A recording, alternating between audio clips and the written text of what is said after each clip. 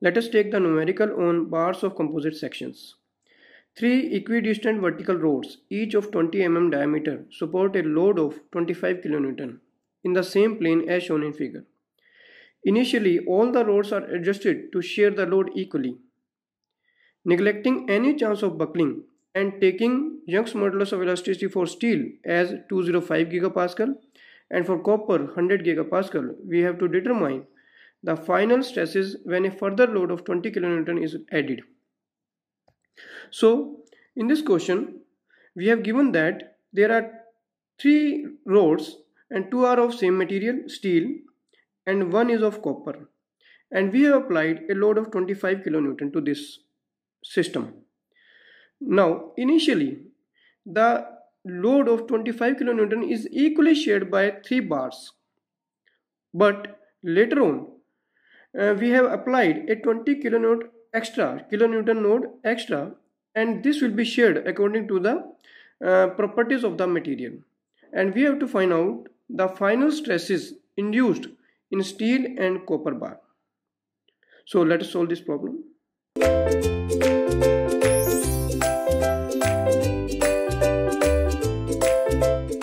In this numerical we are given with a composite section like this we have two steel bars uh, steel rods are there. One is uh, of this length uh, 3.6 meter. Another is of same length 3.6 meter. And at the center there is a copper bar of length 2.8 meter. And all are equidistant to each other right? So you can see here with figure that whatever stress will develop in steel same stress will develop in uh, this this steel because both are of same diameter 20 mm and of same length 3.6 meter right? One thing is clear right? And it says that initially initially a 25 kilonewton of load is applied and uh, the system was arranged in such a way that the equal the load is distributed equally in steel copper and steel. So this 25 kilonewton is divided into three parts 25 by 3 and this is equally divided by uh, equally shared by three uh, rods right so stress will be developed due to this 25 kilonewton. So some initial stress will be developed due to this 25 kilonewton in, in both the steel bars and also in copper rod. Now after that it is saying that 20 kilonewton load is applied. After that 20 kilonewton load is applied. Now 20 kilonewton load will be shared in such a way that depending on the modulus of elasticity, length, dia and other things of this material, right? So and we have given the modulus of elasticity of both the materials. We have to find out there was some initial stress developed.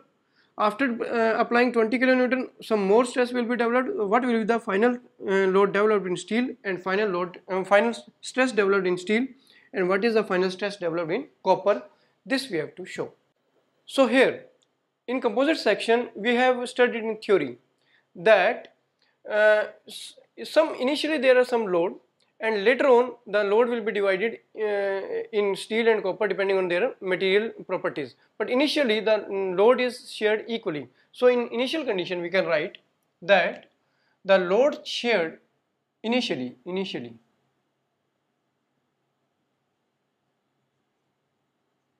the load shared I am writing PIS initially load shared by steel. That should be equal to load shared by copper copper initial condition. And also there is another steel bar. So that is also is there. And that should be equal to one third of 25 right? So total load applied divided by 3 because there are three rods are there and they are saying that the load is shared equally right? And due to this when the load is shared equally the stress will be developed some initial stress will be developed and that will be same because dia is same. So initial stress initial stress developed in each bar is sigma i is load which is 25 by 3 multiplied by area pi by 4 d square. Pi by 4 d square is 20 20 square right? So this is the initial stress developed in the material. right so when you solve it I am taking here mm square millimeter square when you take the millimeter square the answer will come in megapascal because millimeter square is 10 power minus 6 and when it will come in numerator it will become 10 power 6 so the answer will become megapascal so whatever answer will come that will be in megapascal so I am writing here the initial stress developed in the material sigma i is solve it this 25 by 3 this is a force and this is in kilonewton. So here we have to multiply it by 1000 also to remove the kilo kilo sign. So 25000 divided by area or uh, p upon area and it is one third because each is sharing one third. So this stress sigma i will be developed in every material right? And this will come out to be 26.53 26.53 megapascal. This is the initial stress developed in each bar. This we will use later on find for finding the final stresses right? So initially we have find out that this is the stress developed in each bar. So one part is completed right? That initial stresses we have obtained right? Now now second part that we have applied now 20 kilonewton force 20 kilonewton force. So this is now 20 kilonewton.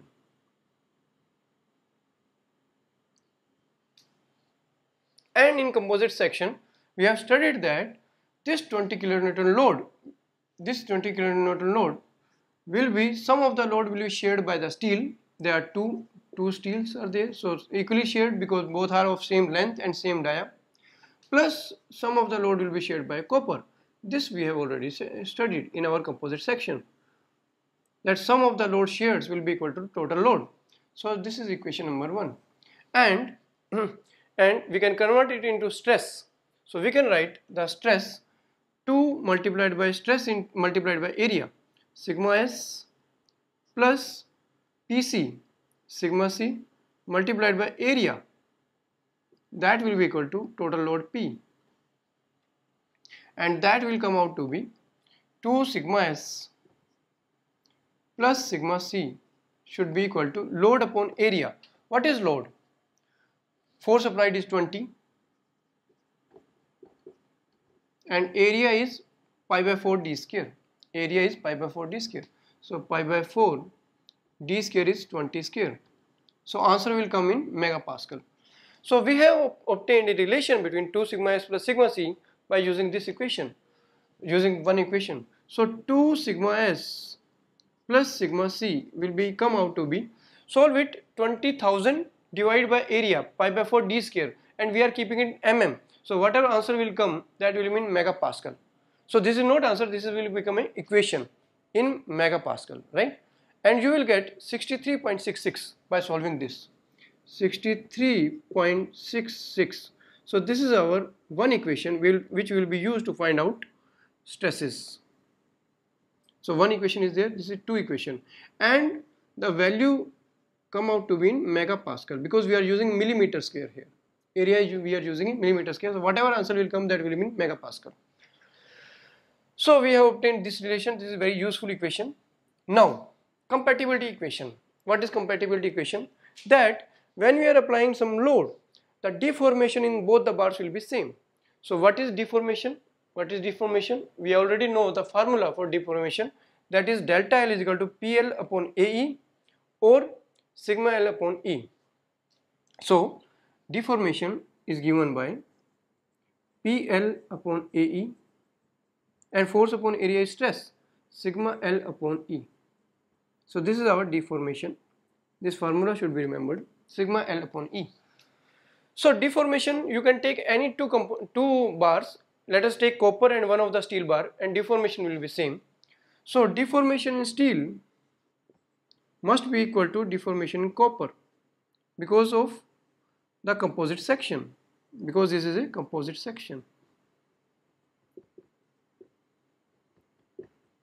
So this should be same. So we can write sigma L sigma in steel L of steel upon E of steel must be equal to sigma of copper L of copper by E of copper. So that should be equal to sigma S we have to find out L of steel steel. Length of steel is bigger 3.6 3.6 divided by E E of steel. E of steel is 205 205 and that should be equal to sigma C. Multiply length of copper. Length of copper is shorter 2.8 meter. Divided by E E of copper. E of copper is 100 100 gigapascal. We are not converting into pascal because not required because uh, this will uh, the gigapascal and gigapascal will cancel out meter and meter will cancel out and we will get a relation between sigma s and sigma c. So there will be a relation between sigma s and sigma c that sigma c will be equal to sigma c you will get 0.627 0.627 sigma s. So this is another equation for finding the sigma s and sigma c. So two unknowns, two stresses are unknowns, sigma s and sigma c and we have obtained two equations. So solve 2 and 3 and you will get the stresses. So solve, solve the equation 2 and 3 and you will get the stresses. It can be easily solved, sigma s and sigma c is there. Also sigma n and sigma c is here.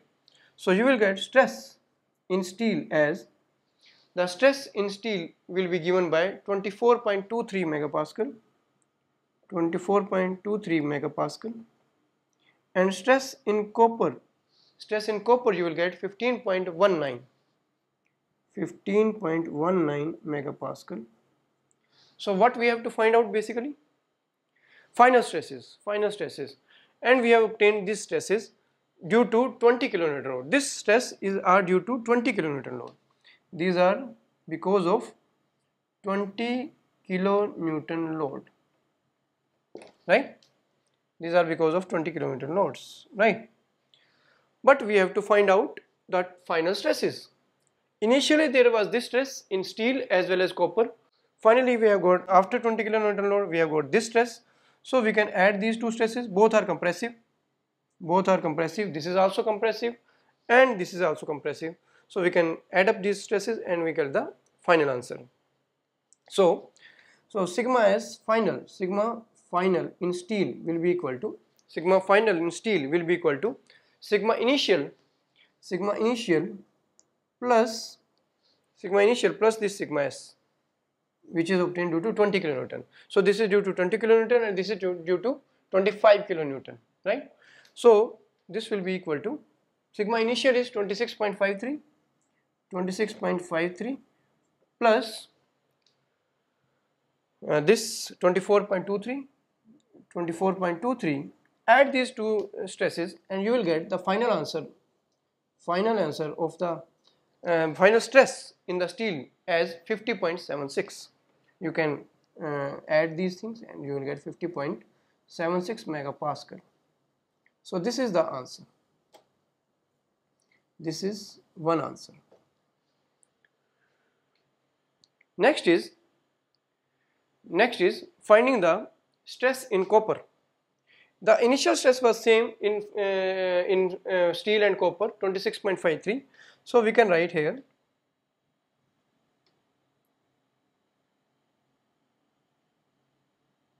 So in copper final stress in copper will be equal to final stress in copper we can find out now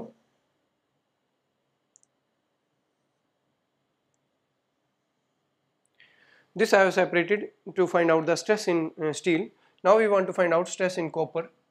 Stress in copper is initial stress in copper plus the stress due to 20 kilonewton load and that will be equal to initial stress is 26.53 26.53 and later on we got this stress 15.19 15.19 add these two things and you will get the final stress in copper which will come out to be 41.72 that will come out to be 41.72 megapascal. So this is our final answer. That this is the stress final stress in steel and this is the final stress in copper.